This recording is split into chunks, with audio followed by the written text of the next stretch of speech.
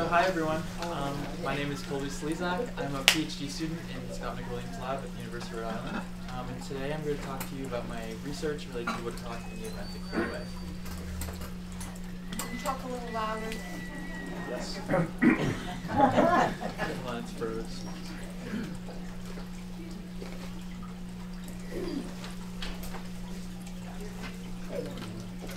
So if any of you have taken a drive around New England, which I assume you have, um, you'll notice the miles and miles of stone walls we have um, along the roadsides. And so this really shows us that this landscape once was primarily agricultural.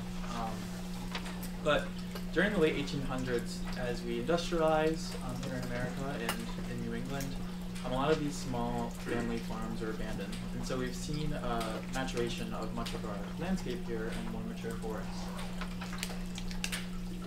So what does this look like? Um, so you can see here, as I mentioned, there was many small family farms that sprawled across New England in the 1850s. And by the time the 1930s came around, we had much more young forests on the landscape. Um, can you see this? Okay, well, as you can see in the right image. Um, and so at the peak of young forest, so you know about 50 years or 60 years after the abandonment of these farms, um, populations of young forest species were doing really well. I mean, you can see that here in this graphic. So with American woodcock in the 1970s, we had pretty high populations along survey routes. So woodcock um, populations are assessed annually by biologists um, since the late 1960s, and they drive around these predetermined routes to count the number of singing males um, along them. And so we can see that um, into the early 2000s, woodcock populations have really took a pretty steep decline. I mean, it's been about 1% annually um, since this survey started. And so just to give you a little bit of background about um, woodcock, um, they're a migratory game bird. Um, they're also a shorebird, so although they don't live by the ocean or the um, shore like we think of many of these other shorebirds, they actually live in the forest, so they kind of give up their beach lifestyle to move into this forested landscape. Um, they're pretty strange. They have these really long bills um, with a prehensile end, so they can actually flex the end of the bill outward to grab earthworms and other invertebrates under the ground. Um, they lay four eggs, like most shorebirds, um, and they do these really charismatic courtship display, um, displays. So you can see this male here, I just added kind of the squiggly line to signify these flights they make in the spring where they spiral, spiral up in the air and then land at a singing ground um, to try and attract a mate. And I think this um, quote here by Aldo Leopold really captures um, why we care about woodcock so much. Um, they're a, a, very favored game species, um, especially with people with pointing dogs, but they're also um, loved by bird watchers just because they're so weird. Mm-hmm. Um, and so we all um, really appreciate the woodcock and want to keep them on our landscape. Um, and you know, woodcock are declining, but so are birds everywhere. There's been about 3 billion birds um, that we think we've lost since 1970. And because of these reductions in young forests that I mentioned, some of these young forest species have been hardest hit. And so um, American woodcock, you know, we still have hope for. We can hopefully help. But in some areas um, of the ruffed grouse's range, for example, they've been completely extirpated. Um, and all of these species are, have experienced pretty steep declines. Um, and so, because of these declines in woodcock, um, the University of Rhode Island and the Rhode Island Department of Environmental Management have been working collaboratively um, over the last decade to try and understand why woodcock are declining and how we can improve their habitat. Um, so one of the first projects that was conducted as part of this collaborative um, was by Roger Massey in 2010 to 2012. Um, and he was looking at the post-breeding male habitat selection of male woodcock here in Rhode Island state management areas. So he was attaching transmitters and tracking their movements to try and see the habitat um, components that woodcock were actually selecting for. And then a master's student, Steve Brenner, um, actually tested, so Roger produced this uh, hotspot map to figure out where woodcock would most likely be in the state based off of these habitat features he identified are important to woodcock. And Steve actually moved birds from high quality spots, as predicted by Roger, to these low quality spots, and they overwhelmingly would return back to the high quality spots. So it showed that woodcock can actually assess the landscape um, and really do care about these things that Roger modeled um, as part of his work.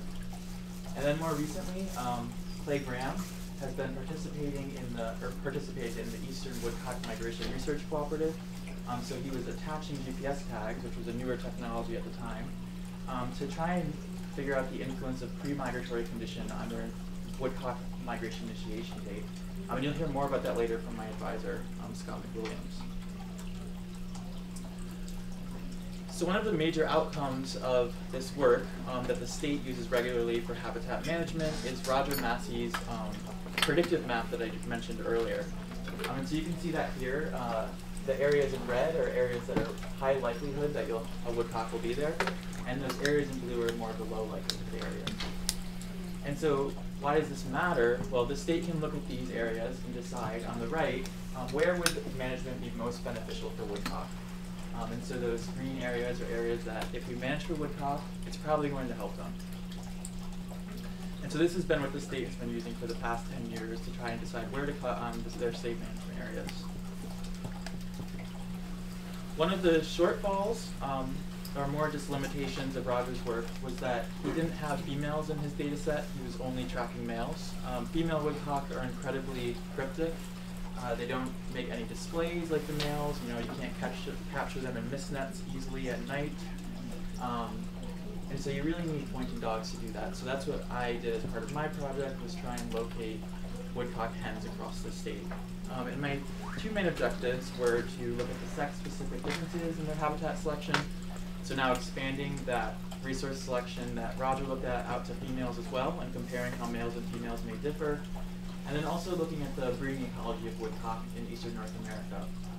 And so I did this at two scales. I have a local study that I um, tracked birds and looked at nests and brood success here in Rhode Island.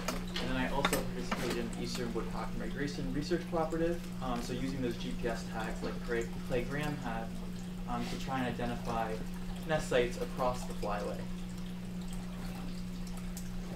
So I mentioned um, a flyway to you just a second ago. Um, so I'll, I'll be talking about two different scales throughout this talk. So I have some of my studies are local here in Rhode Island. And at the beginning of the section, you'll see this image on the left. And then on the right, that's the flyway scale. So in North America, our migratory birds are managed in four flyways. Um, we're in the Atlantic flyway, that purple section all the way to the right. So if you see that at the beginning of the section, I'm talking about um, the whole entire flyway. So the, um, my first objective that I mentioned was the sex-specific differences in habitat selection, so trying to see how male and female woodcock differ in what they select for here in Rhode Island.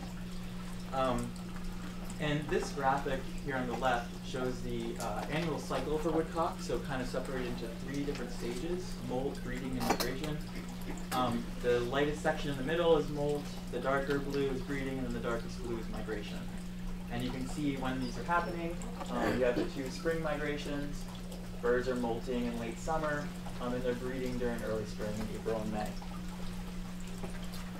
So for the focus of this talk, I'm talking about the period um, right after breeding and right before fall migration. So as I mentioned, we're gonna, I wanted to compare how the post-breeding habitat selection of male and female woodcock differs.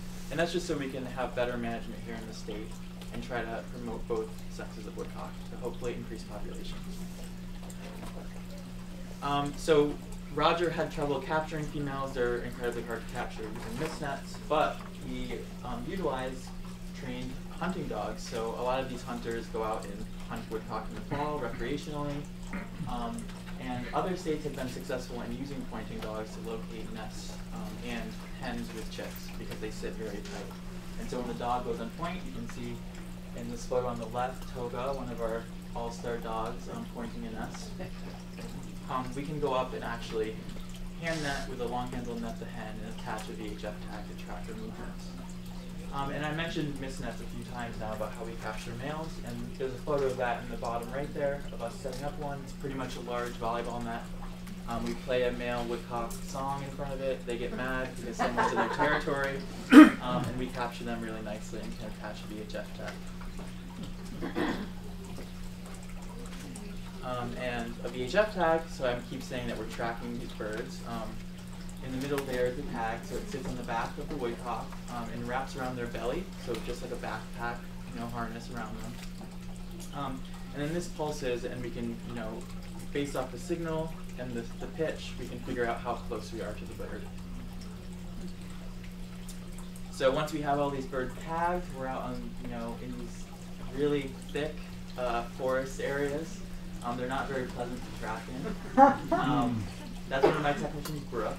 Um, and the, the kind of the life cycle of a woodcock tracking technician is they're like, you want me to go in that? And, it starts, and then by the end of summer, they're like, oh, that's perfect woodcock habitat. Um, so if, if you need more convincing, I promise you they are there. Um, and we have many uh, scrapes and bruises to prove that. Um, and so using all of this tracking information that we collect throughout the summer, so we're tracking the birds, taking GPS locations, we can build home ranges that can encompass all of these woodcock movements. Um, and in these home ranges, um, this is just where the birds are feeding, where they're nesting, uh, where they may be resting, where they're roosting. So it's just capturing where they're spending a majority of their time. And when we overlay these home ranges um, on our state management areas, you can see that's Great Swamp Management Area um, in southern Rhode Island. We can look at what habitat features are underneath these to see what are woodcocks selecting for preferen preferentially in their um, habitat. So you can see at Great Swamp, um, for those of you that know it well, um, they're mostly in those really wet areas on the backside of that impoundment. So using wetland forests, um, that's pretty typical of a woodcock in the summer. So what did we find after tracking all these males and females? Well, we found, unsurprisingly, that both sexes of woodcock really like wetland forests. Um, they like riparian corridors. They like flat areas. This makes sense because they eat earthworms, so they like moist soils. Um, and they like to be nearby young forests. Um, but the main thing we were most interested in is how do these two sexes differ?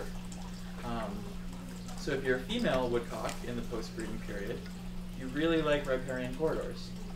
And if you're a male, you really like flat areas and nearby young forests. And so you may ask yourself, why do females like riparian areas more than males, and why do males like these singing, um, these young forest areas? I mean, I think it may be related to uh, actually the breeding season. So for many migratory species, um, they have a limited amount of time on the breeding ground. So in the spring, they breed, they display, they nest, then after that, they spend the rest of the summer in these sites. And so it's a perfect time for them to assess the actual quality of the habitat for the, the next uh, breeding season um, because they migrate south and then they're no longer there. So they have to assess it while they're still on the actual site. And this allows them in the spring to really quickly um, start displaying for the males and for the females to start nesting and not have to search around because they've already selected the site. So these findings um, can be directly used for management. So I showed you the hotspot map that Roger had made um, back in 2010, um, but now we've updated that map on the left here using 11 years of tracking data. So all these projects together we've combined and now have a data set that includes 150 males tracked in Rhode Island, which is the largest study of woodcock. Um, and then on the right, we now have females from my two years of research. Um, and so we can compare how, you know, areas that are high for males, are they also high for females, or are there different, you know, components that makes certain areas better than the other?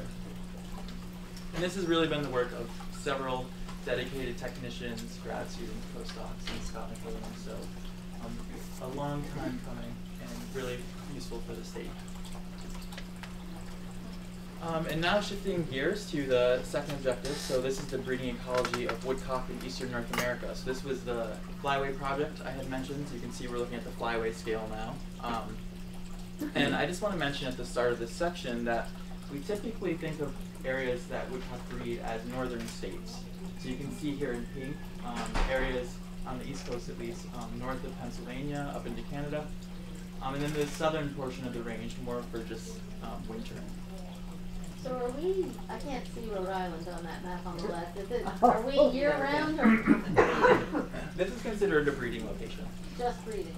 Yeah, there is some that stay year round, yes. There are some? Yeah, Okay. um, a, a small percentage, but yeah. Um, so the main objective of this work was to understand more about the breeding system of woodcock. Um, we know relatively little about the breeding system of woodcock. It's actually quite mysterious and hard to study because they're doing all these activities at night. Um, they're really hard to observe.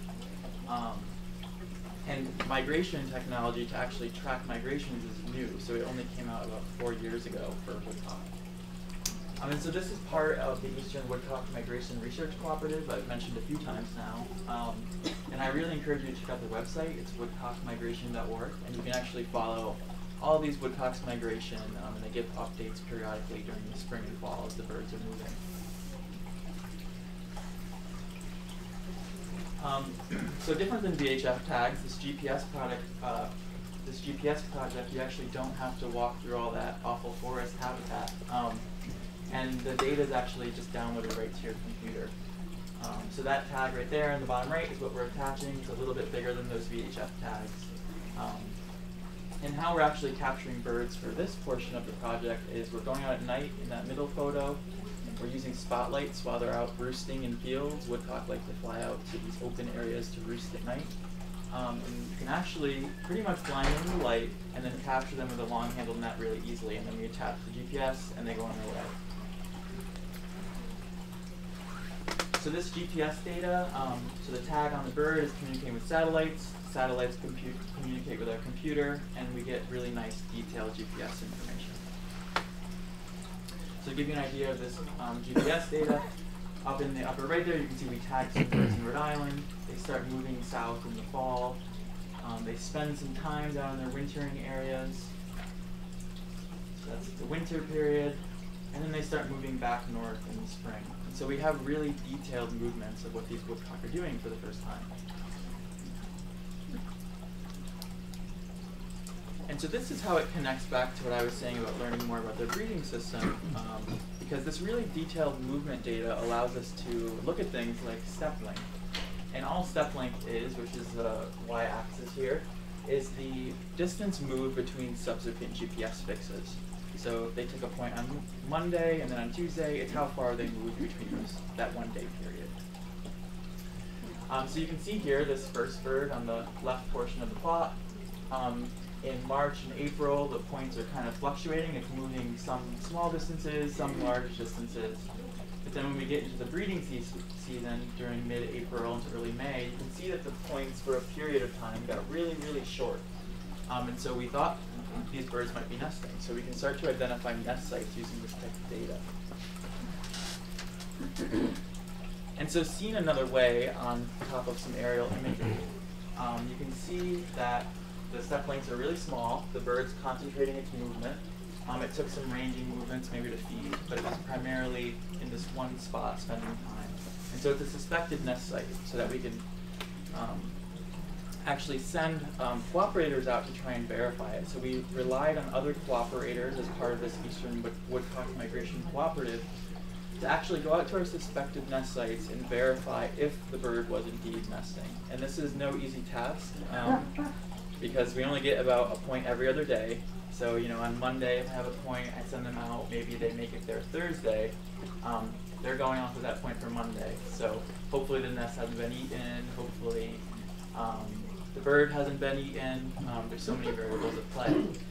Um, and you can see in this bottom right photo there that woodcock nests are also extremely camouflaged. Um, there's a bird sitting on a nest in that photo. You can't even see. Um, and then also, as I mentioned, some had already been predated by the time that people got there.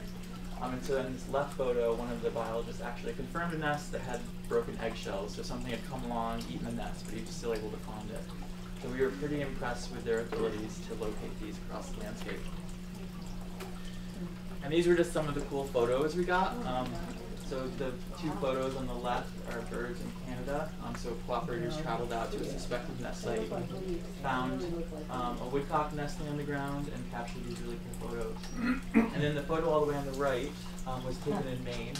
And you can see um, there's some freshly fallen snow. Um, it had just finished snowing. The biologist trekked up this mountain to get there. Um, and when she got there, she found that small depression just with some broken eggshells and the snow still melted. So the bird had just, you know, the nest had just been created when she arrived there, so we thought that was pretty cool. So I mentioned these nests are really hard to find, they're really hard to see. Um, so if you look back at that bird I showed you earlier, it was nesting in mid-April. Um, but you can see that there was also some really small concentrated movement in mid-May. Um, and so we missed some nests, and we knew that um, just because they're really hard to find. We may have not gotten there in time. There may have been access issues. But in total, we found 26 nests um, for, as part of this project um, during the two years we did it. And one of the interesting things we found were that some of these birds were actually renesting, um, but not only were they renesting, they were moving these really considerable distance to their next nesting attempt. Um, so yeah, moving several states away to nest again, which is really unusual in birds. Um, and this is called itinerant breeding. So all that means is that they breed in two locations in the same year. Um, and it's only been found in others, only seven other species of birds. Um, the most closely related to the woodcock is the snowy plover out in California. So when we saw this, you know, really cool finding, um, we were curious how often it was happening in the population, and we also wanted to go back and try to find any nests that we may have missed. So using the information from our verified nests, from all the biologists traveling around, um, we knew what woodcock nesting looked like. We knew that they took really small step lengths. We knew they were spending time in an area for about five days at least. Um, it seemed like most nests were getting created around the five day mark or being successful. Um, and so we used this computer program to try and uh, identify nests using these, this information. And so we did this with a larger data set. So this project in the Woodcock Cooperative has been happening for four years now. We were only you know, identifying nests for two of these years, so we applied it to this larger data set. And when we applied it to the data set, we had 92% accuracy on the verified nests that we did find. So it showed that the program worked really well. Um, it was finding the nests that we were finding. Um, and one of the really cool things we found was that woodcock are actually nesting in pretty high densities across the breeding range. So it's really the, the peak of, so this is across the population that we were studying. Um, and so the first nesters are generally happening around 35 degrees latitude. Um, and then when this, if this nest fails, the bird will move um, and have another nest attempt somewhere near 41 degrees latitude, and then continuously moving northward as the nests fail. Um, and so you can see, um, and I mentioned earlier that we think of woodcock breeding, you know, above Pennsylvania, so around, you know, 40 degrees or so. Um, but there's actually an importance of this southern area for first nesters in the population. And you can see that woodcock nest, you know, a lot of times. They'll re-nest up to five times, it seems. So pretty uh, energetically expensive. And I mentioned, you know, the importance of this whole area rather than just this smaller breeding range we had originally thought of. So how does something like this evolve in woodcock? Um, well, the other birds that this has been found in, it's usually related to the fact that they live in these really short-term habitats. So, you know, there may be seasonal droughts or um, habitat that they use only stays in the landscape for a short period of time before it gets too mature. I mean, woodcock are a good example of this because they nest in young forest areas, um, and young forests mature very fast. So they can't be too um, stuck on one breeding site. Um, they have to be able to move, you know, because if they live for five years, that site may no longer be good that was when they were like a year old.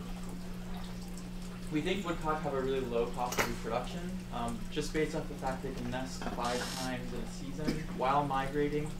Um, shows that it must not cost them much to lay eggs each year. Woodcock also have a very prolonged breeding season. You may have noticed in that plot that they're nesting all the way from January in the southern portion of their range into you know mid to late July in northern um, portions of Canada. Um, so this really extended breeding period, low cost of reproduction, the fact that they can re-nest very quickly, um, and that they can have several attempts seems to lead us to think that this is maybe how it evolved in woodcock. Um, and this ephemeral habitat also kind of, you know, um, seems to make sense with other species as well, that they don't, you know, their habitat doesn't last long, um, so they have to be able to pick up and move. Um, so the implications of this work, um, it really shows that, you know, what we knew, know about woodcock um, isn't absolute. It's always changing. We're learning new things with new technologies. And you know, we originally thought that this breeding range was so much smaller than it actually is. It seems like there's actually an importance of the entire um, flyway in woodcock breeding annually. Uh, so it really highlights um, the need for more cooperative uh, research projects like the Eastern Woodcock Migration Research Cooperative, um, and how we need to manage um, forests more collaboratively. So not just creating breeding habitat in the northern portion of the range, but also in the southern portion. And then I mentioned earlier that I have this more local study, so I'm looking at breeding ecology of woodcock in Rhode Island. Um, so that's what this, I don't have as much results for this section, so it's much more preliminary. Um, but again, we were using the pointing dogs to try and locate nests across the state and chicks. Um, and these dogs hold incredibly tight um, and are very well behaved. So you can see that one dog there looking right at a chick in someone's hand um, and just sitting there very patiently. And so this project, um, we were, like I said, you know, we were capturing hens to learn more about their habitat use, but also to learn more about where they're nesting on the landscape. Um, and we were also attaching really tiny transmitters to the chicks to try and get more information about survival, which I'll analyze in the coming year. So one of the main um, outcomes of this work will be some information about nest site selection here in Rhode Island. So using all these nests we're finding with the dogs across the state, um, we can start to ask questions about where are they found on the landscape. Um, so you can see all of our study areas there in color. And one of the things that has popped out to us right away is that they're often found along streams. So kind of what I was saying earlier about the summertime, they're using streams, um, probably for breeding habitat. And that's also what we're seeing here with this nesting study. And then once we know, you know, where these nests are on the landscape, we can ask questions about what the habitat above them is. Is it upland forest? Is it mature forest? Um, and we can also um, get more fine-scale data, like what is the vegetation like right around the nest site. And so we've been taking some really uh, fine-scale vegetation data measurements, like stem density, canopy cover, um, to try to see what woodcock are selecting for here in Rhode Island. And if you take anything away from this talk, um, I hope you recognize the importance of young forest. Um, and if you really want to support a diversity of species, so not only woodcock, but other songbird species, um, snakes, mammals, um, you really need um, forest cutting. So it's not always a bad thing, um, even though it's commonly associated with it. And I encourage you, um, if you are a landowner in Rhode Island that has uh, 10 or 20 acres, um, to check out the Rhode Island Woods website. We have a coverts program here in Rhode Island where you can get a tax break and help these species by converting part of your property into early successional young forests. And with that, I'll take any questions you may have.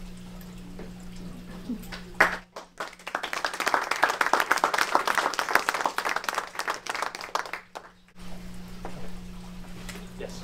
Um, any plans to share your upcoming results on the Rhode Island study with, um, Fish and Game, Rhode Island DEM? Are they interested at all? or- Yeah, so they're funding um, a lot of this work, so um, they'll be using these products directly. Okay, so they're intimately involved with their. Yeah. Yep. So they've been involved through the entire 10 years, um, so providing funding, um, and they use these habitat predictive maps directly to you know decide where to cut new forest, um, and they're hoping you know to learn more about breeding so that they can create more breeding habitat for woodcock here too. It's really everything we've done is focused on males, and that's true for most of their range. And, um, the fact that they're itinerant breeders, I would imagine presupposes that females and males are probably traveling in close conjunction for the majority of their breeding season, January through July. Uh, yet the males prefer a more open, uh, habitat to display, and females prefer, obviously, uh, riparian forested areas to nest in. Um, that doesn't obviously, the, preference for the two different habitats makes no difference as to, um, their breeding success, because they're usually very close to one another in that situation. Yeah, so one of the you know the interesting things about woodcock is they really need a mosaic of habitats. So they need young forests, you know, near riparian areas. So they use like a diversity of landscapes. So they're often called an umbrella species that was mentioned earlier in the uh, keynote. Um, But that depends on their, their, their, their gender, does it not? Yeah, so we were looking at the post-breeding period though. Oh, um, So in the spring, the males are usually, we think, select their singing areas, so their open areas, based on proximity to woodcock nesting cover. So we, because actually, the males are choosing their site based off of where the females want to nest because we think that may be more attractive to females. You know, a male that's right near really good nesting cover. Um, and woodcock don't pair, so you know, um, But they, yet they, they, they, they can produce up to five clutches of, of eggs a year, Yeah. but they don't pair. Yeah, and so the woodcock display the entire northward migration. So males and females, you know, the females are attracting many males, so they have the opportunity to mate several different times with different males as they migrate north. So there's no pairing, and females take care of the young on their own, so the males have no involvement. Just sing it down. Excuse me, you mentioned that, um, Yeah. females is that males and females? Yes. And what about when females have the young, are they, is that still where they're going, or are they really staying in So when they have young, they'll stay in the forest. Um, oftentimes, I, I did track them a few times at night um, for various reasons, but they would be alongside streams or in pretty thick cover just to, I think, avoid predators because the females are really tethered to the chicks.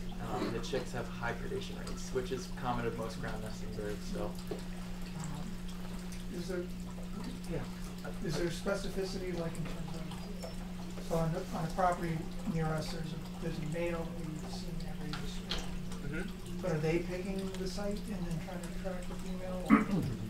So if they're going back to that site, is that? Yeah, so th- that male's probably had success, you know, with breeding attempts there, um, and it's probably really nice, uh, nearby, really nice nesting habitat. So females are in those areas, um, and so the females are probably visiting him. So he has incentive to keep going back to that site. It's really a female-driven um, reproductive type of system. But Colby, let's take one more question so we have time for Scott to connect. So I have a goofy question. Uh-huh. Why do they walk the way they do? so um, that is that's debated, but some people think they're actually um, trying to like listen for earthworms or try to like feel the movement of earthworms. Um, and it's even been hypothesized that it's like a distraction behavior to predators. Um, so we're not really sure exactly why, but it is interesting to look Yeah. at. Thanks. So Colby could have taken the whole 45 minutes, but I, we, we thought that it would be a nice way to combine two talks, because I'm going to talk about the rest of the annual cycle. So what happens after they leave Rhode Island, and how important is Rhode Island to some of the, the, the strategies that they use during migration. So this is called in the bird world, and you may know of it, cross-seasonal effects. So what happens in one place might have an effect on what happens in another. And this is work, uh, Colby mentioned this, it is work of Clayton Graham's, uh, so I don't do anything, I just have the grad students do everything, and then I tell their stories. Uh, did this work? All right, so there's the woodcock annual cycle seen in a slightly different way. And what Colby talked about was this sort of migration to breeding areas and sort of this portion of the annual cycle. What I'm going to talk about is what happens after breeding and during that migration period and where do they go in the winter.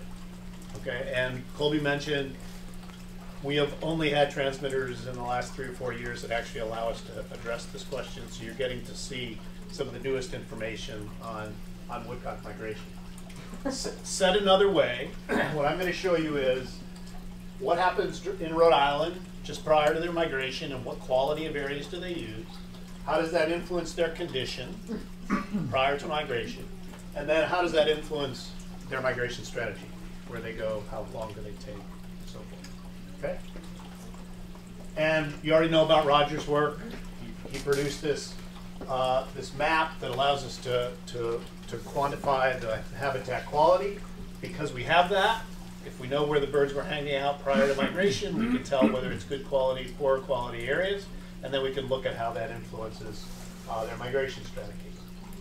There's one other aspect that you can get at if you track birds during this period of time, so from breeding areas to wintering areas, and it's related to this concept called migratory connectivity. So it's the extent to which individuals from discrete breeding areas go to discrete non-breeding areas, or vice versa. So I've just given you three sort of ends of the continuum examples.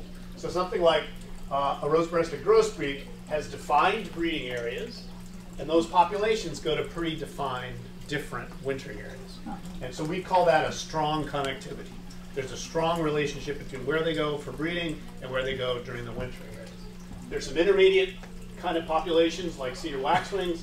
On the other end of the continuum are things like green-winged teal. A variety of different breeding areas, and they mix all up in the wintering areas.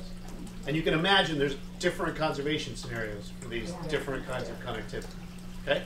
So part of the reason why we conducted this study was also to estimate the migratory connectivity in woodcock. All right, so in words, this is what I'm going to show you. So the we're, we're, one of the goals is how does body condition and quality of the post-breeding areas influence their migration strategy, right? And if you think about that for a minute, if woodcock are hanging out in better quality areas versus lower quality, how might that influence their, their preparedness for, for breeding? So one hypothesis that you might come up with is those that hang out in higher quality areas might depart earlier because they can fatten up much faster. And they might have more fat because they've been able to be in higher quality areas. I'm seeing nods. You're agreeing with these that hypothesis.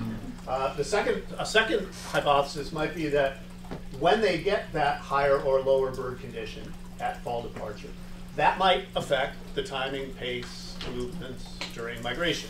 And I didn't bother to predict specifically because there's a, a bunch of different ways that that might go. But all I want to convince you of is it might be interesting to look at condition and how that relates to migration. So I'm going to show you results for both those things.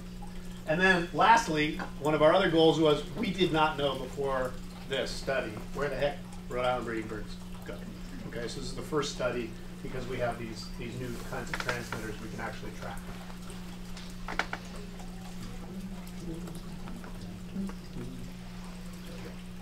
All right, so some of the methods are the same as what Colby just talked about. We catch birds in the spring, we put on these VHF tracking devices.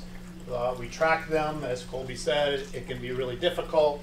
In this case, it's really difficult because goats like to follow you around while you're trying to find your woodcock. So there's all kinds of obstacles and things to doing this kind of work.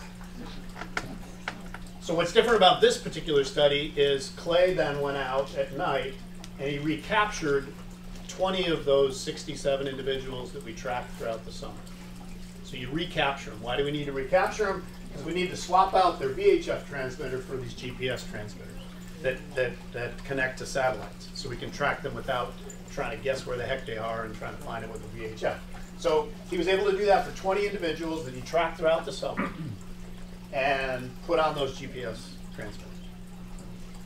And remember, because of Roger Masse's work, if we found a bird that was right here all summer, it's going to be in lower quality areas. We can predict that from the map areas that are higher quality, we know they're in higher quality areas. So we can predict the quality of the areas that the birds use prior to migration. And then I'm not going to go into the details of how we do this, but we have a, a very clever way to, for a living bird, estimate its amount of total body fat. By the way, they use the same exact technique for you if you ever get a total body fat uh, measure. So we can do the same thing with our birds. And if you do that, all these, each of these dots is a bird that's caught at a specific time. And this is the overall relationship that we find in the population of Rhode Island breeding birds. And what do I mean by that? The birds pretty much just hang out. They don't start fattening until about mid-September. And then on average, individuals start fattening and they fatten at about a half a gram a day. Okay? So why is this helpful? That means if the bird departs on October 27th, we can estimate it left with about 25 grams of fat. If it waited until late November, it might have twice that amount. Okay, so we can use this relationship. So we're going to get two pieces of information from every bird. We're going to get what, what kind of quality of area did it hang out in during the summer, and how fat was it upon departure, because we know exactly when it departs. And then just like you, if I tracked you with your cell phone on vacation, we can get this kind of information for every single individual. When did you leave? When did you arrive on your wintering area? How, uh, how far did you go? How many times did you stop?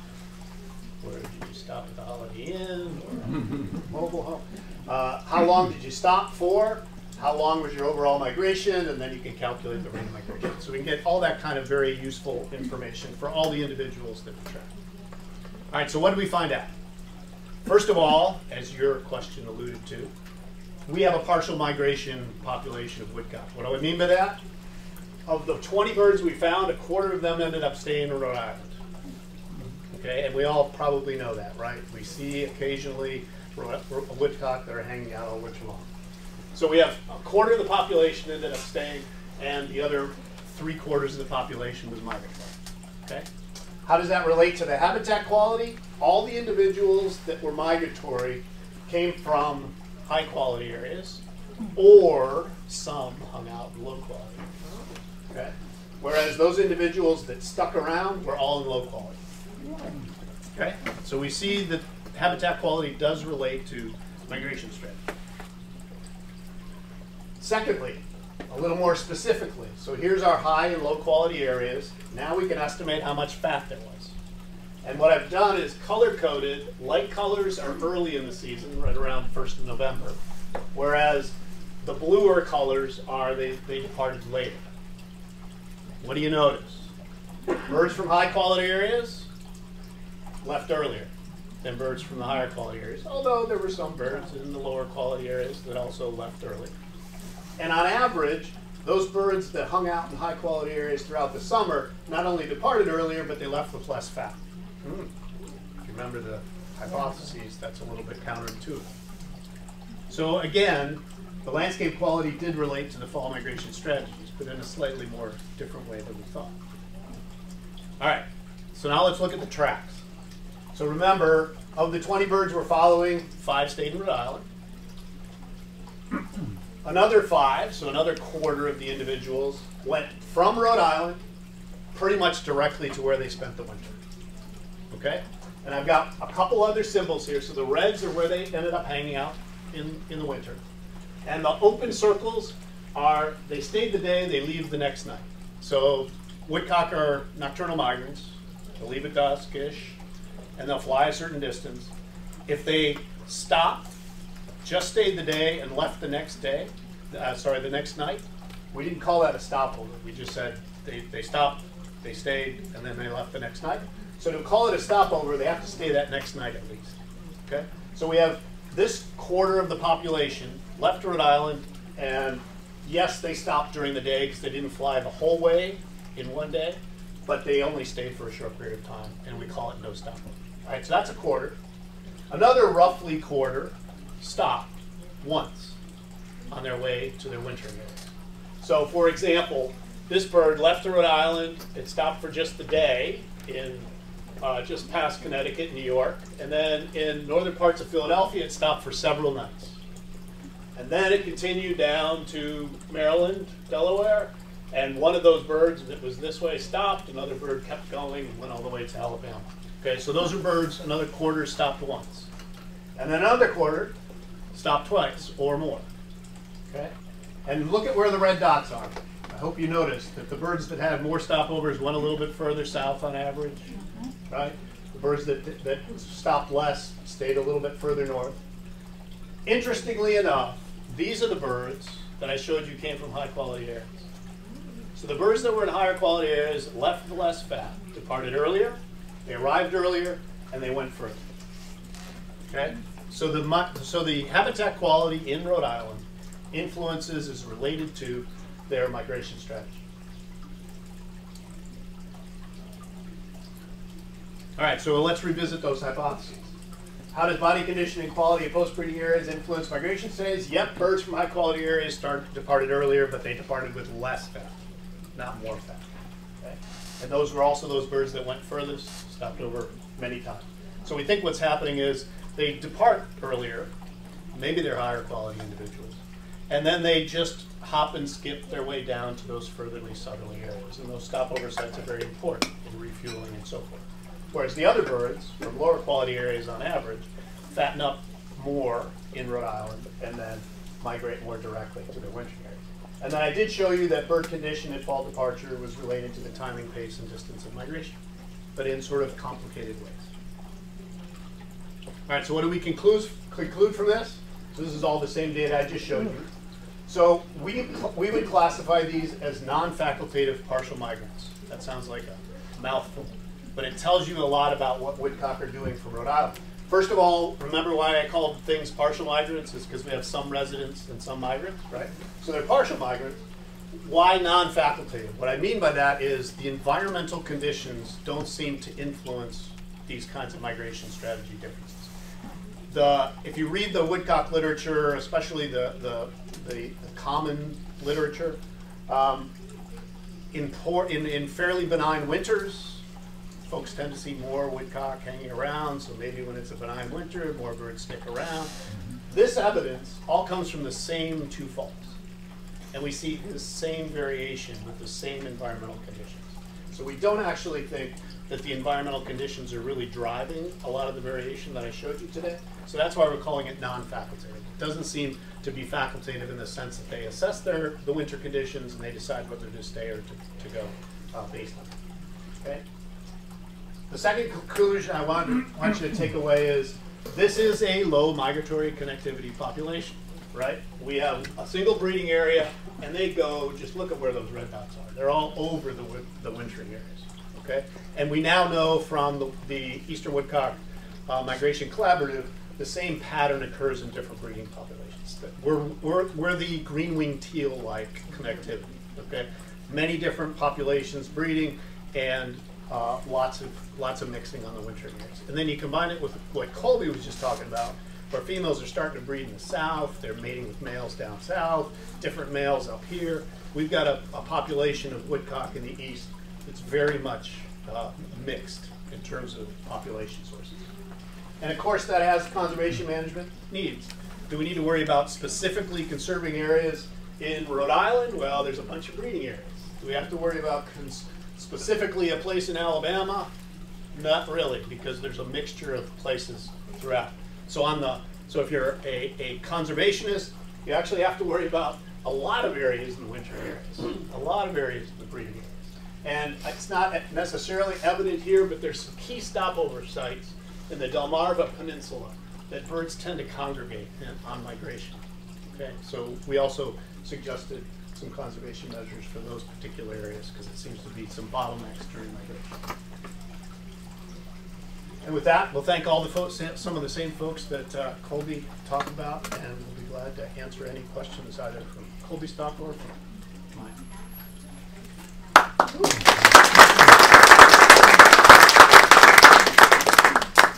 Yeah. Scott, would, could you talk about um, the advantage of being a, having a lower body fat proportion when Mm. you're starting migration? Right. So it's not necessarily an advantage of being lower, it's just those individuals seem to go someplace else, use some fat to get there, but then spend more time at those stopover sites. So the stopover sites are relatively more important for that kind of migration strategy in woodcock, whereas others, the fat stores that they put on in Rhode Island specifically, are especially important. But how about the energetics of migrating with a larger body mass? Sure, yeah. So a bird the size of a woodcock is putting on, so I, I, I included it in one of those graphics. So it's, males are smaller than females. So males are somewhere in the 120 to 160 gram range. Females go up to about 280 grams. And the, the fats amounts that I was showing you an estimate of go from 20 to 50 grams. So they don't, they're not uh, a blackpoll warbler that puts on more than half of its body mass or more in body fat.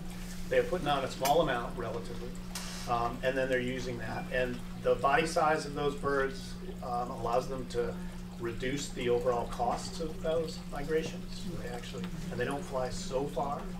They're short distance migrants in, case. So I don't think the energetic cost of migration is as much as we're used to thinking for other species. Mind you, that plays into Colby's part of the talk too. How the heck do females breed in all these different places and mix in migration in between? It only works if the costs of migration are, are proportionally lower. Did you check those those people who had those birds that had longer stopovers? Uh, caused by weather versus caused by need to fuel up. Yeah, so we, we, we included, we had predictive models that tried to explain why the phenology was such. Most of that stuff, in the years that we studied them, weather did not explain it. There has been years, like especially in the Delmarva Peninsula, we had some big snow years Yeah. where a lot of woodcock died. So it's not like it doesn't affect them at all, but at least in, in the years that we were studying, it did not explain when they stopped over where they went. I don't know if you've been able to track individual birds over several years. Hmm, Just a few. Uh, the- do they have the same, that particular bird use the same strategy every year, or Right. Are they using a range? Yeah, it's a great question. We don't know that. We do know that um, males are relatively consistent in where they come back to in the summer, especially as Colby mentioned, if they're successful, it seems, in attracting a female. Um, and he he talked about Steve Brenner's work where we move birds around, and they're they're very keen to figure out where they are, and we moved them far enough. He mentioned if you move a bird from a low to a high quality, they stay there. We did the reciprocal, move birds from high to low, they return, and we made them go way further, like ten times the size of their home rate. So they had to figure out. They knew exactly where they were going. They were back in a couple days. So they they have the capacity to see Rhode Islanders. They know it well, and they can move back and forth depending on. You had a question back? Uh, great minds think alike. I was gonna ask the same question. Oh, you So-. So let me, let me shift gears then. Um, kind of integrating the two talks. The birds that you're tagging represent the northern, the final breeding stop, Hmm. and they could have been, had a couple other stops Yeah. beforehand? So I'm glad you're trying to put things together. We try to do the same thing, and the evidence that we have is makes it hard to do. So with females, we had breeding females that were successful a few years ago, and some of them showed back up, but most of them we don't see again that may have been successful. What we think is happening from from Colby's talk is if they're successful down south, then they're actually finishing, they're going through the 25 days or so of, of incubation, then they're hanging out with their chicks for another 10 days. Then maybe they try to breed again, but most of that multiple breeding is failed nests, which for an average female, she's losing more than half of her nest. So it happens a lot. So that we think there's a lot of that movement. But if she's successful, I don't think she does, uh, you know, she's not gonna have time